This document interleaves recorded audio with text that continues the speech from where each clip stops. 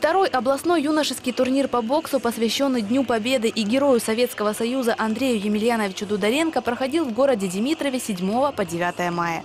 Соревнования состоялись под патронатом народного депутата Украины по 50-му избирательному округу Евгения Борисовича Геллера.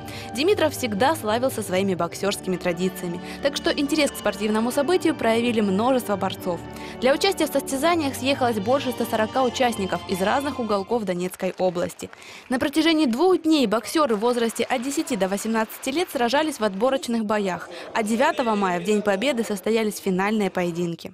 Приехали, значит, это Селидово, Украинск, э, Дружковка, э, Белозерск, э, Родинская, значит, Волноваха, Красноармейск, ну, Димитровцы наши и многие другие. Тут много боксеров и э, победителей Украины, победителей областных, областного э, первенства, различных международных турниров. Это с других различных городов. У нас их приехало еще 14 команд Донецкой области. Весомый вклад в проведение турнира такого уровня в Димитрове сделал народный депутат Украины по 50-му избирательному округу Евгений Геллер. Городской голова Руслан Требушкин надеется, что заручившись поддержкой депутата, наверняка удастся общими усилиями поднять развитие спорта в Димитрове и других населенных пунктах 50-го округа на новый уровень. Мы э, всегда достойно выглядели на областных, всеукраинских и международных соревнованиях. Очень приятно, что сегодняшний турнир э, был возрожден при помощи, при поддержке народного депутата Геллера Евгения Борисовича. Огромное ему за это спасибо. Э, Я хочу сказать, что большую часть всех расходов он взял на себя. И я надеюсь, что этот турнир будет и в следующем году, и через год. И также наш депутат будет нас в этих начинаниях поддерживать. Второй юношеский турнир проходит именно в городе Димитрове, потому что этот турнир посвящен памяти героя Советского Союза Дударенко, который является жителем города Димитрова. Поэтому по обращению Федерации спорта города Димитрова народный депутат Украины Евгений Геллер принял решение спонсировать полностью проведение этих соревнований. Конечно же, очень знаменательно, что сегодняшние соревнования проходят именно в дни празднования Великой Победы.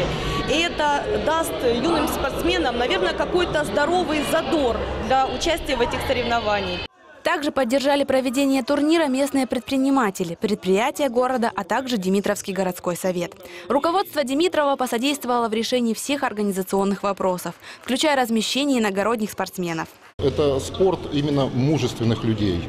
Если есть э, некоторые виды спорта, которые смотрятся красиво, на них приятно смотреть, бокс – это все-таки э, тот вид спорта, который воспитывает мужество, отважу, отвагу в людях. Ну и я думаю, наверное, большинство боксеров являются именно истинными защитниками Родины. А как не, э, и не поддерживать развитие такого вида спорта, я считаю, это невозможно. Отрадно отмечать, что все больше и больше ребят, юношей интересуются, увлекаются этим видом спорта, потому что бокс, он помогает развиваться не только физически, но и воспитывает мужские качества, учит защищать слабых. Пусть сегодняшние соревнования будут одной из ступенек для дальнейших побед.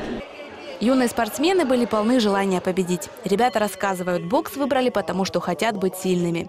Но силу свою собираются применять исключительно в благих целях. Когда дерутся, я наоборот не принимаю драки, я их разбороняю больше всегда. Я решил заниматься боксом, чтобы защищать слабых и за себя постоять. Мальчишки говорят, без веры в себя победы не видать. Поэтому на соревнованиях моральный настрой не менее важен, чем физическая форма. Я хочу занять первое место, и мне поможет э, эта уверенность. Я себе поставил цель э, занять хоть какое-то место одно. А еще я приехал здесь э, с большими волнениями. Готовился усердно, сильно там тренировался. Э, Удар тоже тренировал, все тренировал. Три дня увлекательных сражений и награды нашли своих героев. Победители соревнований получили памятные призы и грамоты от народного депутата Евгения Геллера. На этих соревнованиях я занял первое место. Победить было очень сложно, так как я с этим противником уже боксировал и проиграл ему. Но как-то сегодня, не знаю даже как получилось, но я выиграл. Вообще весь этот турнир, он был очень сложный, так как тут противники собрались высокого уровня, ну и победа далась сложно, так как э, нужно попасть на отборочный, выиграть там полуфинал и финал.